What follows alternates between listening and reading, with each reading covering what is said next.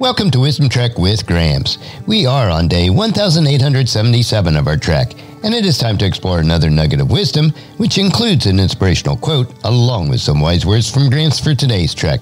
Wisdom is the final frontier in gaining true knowledge.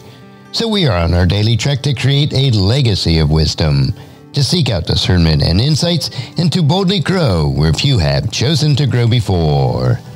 Hello, my friend. This is Gramps. Thanks for coming along on today's trek as we increase wisdom and create a living legacy. We are told in Proverbs chapter 16, verse 16, how much better to get wisdom than gold and sound judgment than silver. If you apply the words that you hear today, over time, it will help you to become more healthy, wealthy, and wise as you continue on your daily trek of life. So let's jump right in with today's nugget. And today's quote is from Wisdom Trek, and it is Ability and training will help you to reach the top, but it will be your character that will allow you to remain there. So, our nugget of wisdom today is character counts. God has blessed each of us with special talents and abilities which are different from everyone else. It is up to you to use your talents and ability for His honor and glory. Part of this will be through training and honing your skills. But becoming good at what God blessed you will only be temporary if your character traits are not aligned with God's precepts found in His Word. Your character will allow you to continue to excel throughout your life. Your talents and skills may be on a different focus depending on each season of your life that you're currently in, but your character will remain the same throughout your life. Your character is who you are, regardless of your talents and abilities. So you may be thinking, what are the character traits that I should include in my life? The excellent character possesses qualities like loyalty, honesty, courage, integrity, fortitude, and other essential virtues that promote good behavior. A person with good character chooses to do right because they believe it is morally right. All of these qualities make up your integrity in life. It is who you are.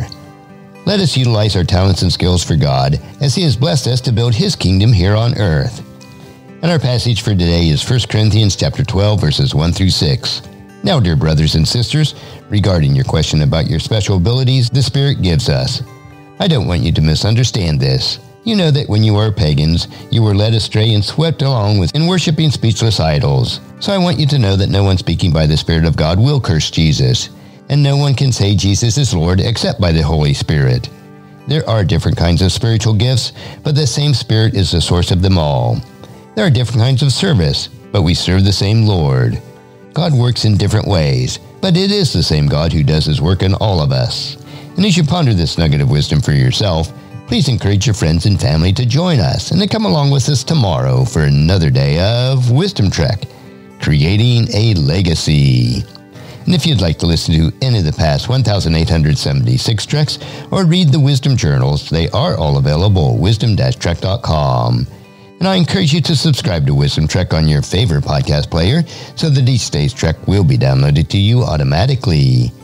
And if you'd also like to receive our weekly newsletter called Wisdom Notes, please email me at guthrie at wisdom-trek.com.